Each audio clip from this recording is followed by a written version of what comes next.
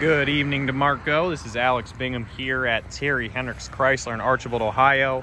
I want to give you a real in-depth overview here of the 2005 Magnum since you would be coming from a distance.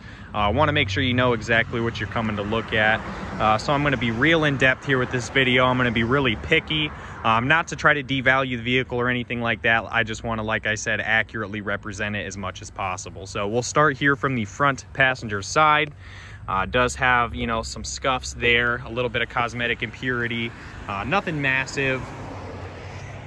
We'll make our way around here, give you a nice profile. Overall, cosmetically, uh, the condition's definitely pretty solid, especially for the year, for the mileage.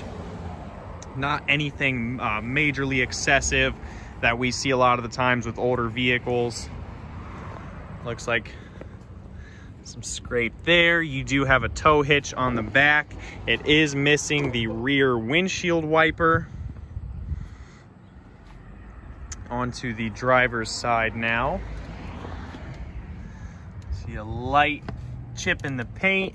Again, uh, most of this is pretty superficial, simply cosmetic.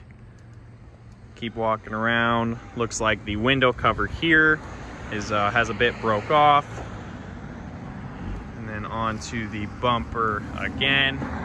Looks like a light scratch there, some light cracks in the bumper, very, very light, doesn't catch my thumbnail or fingernail, excuse me. Take a look at the hood here. Doesn't look to be any paint bubbling or excess stone chipping or bug etching. That's a good sign. Uh, we'll go ahead and hop onto the interior here. Now I wanted to show you the key. I'm not certain if we have two of these. I'll double check. Uh, but from what I understand, this key does not currently work. Uh, I had to manually unlock the door, as you can see there. So I'll go ahead and unlock the vehicle. So the power locks do work. The key fob uh, just may need replaced. So onto the interior.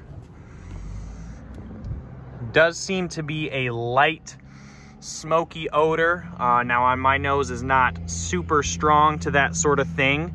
Uh, so I can definitely have somebody else put a second opinion on it if you would like, uh, but it does seem to be a faint smoky odor. No rips, tears, punctures there in the back seat. Light discoloration, uh, but nothing excessive. Pop up here onto the front. We'll double check. Power seat still works in all directions. As you can see there. So all of this is in working condition. Upholstery is clean. And again, on the passenger side, you've got your sunroof, no cracks. Headliner is clean. We'll go ahead and fire it up for you here.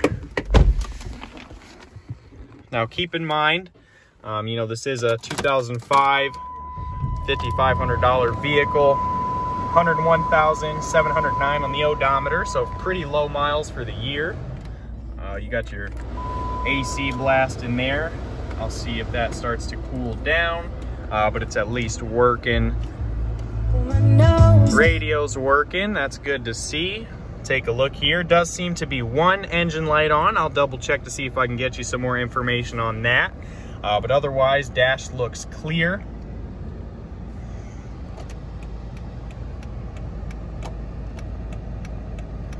Turn signals work. Windshield wipers on the front in working order. Jet's still working.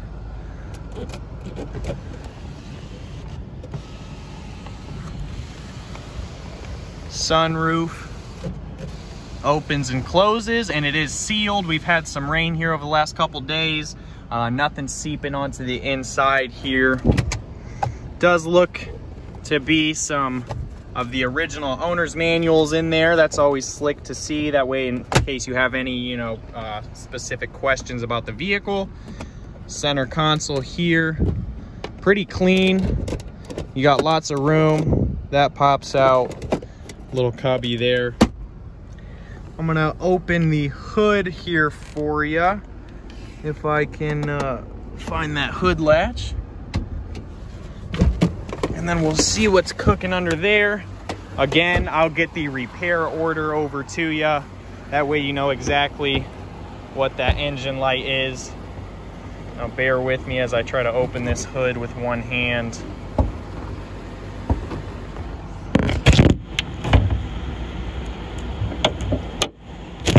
Alrighty, sorry about that.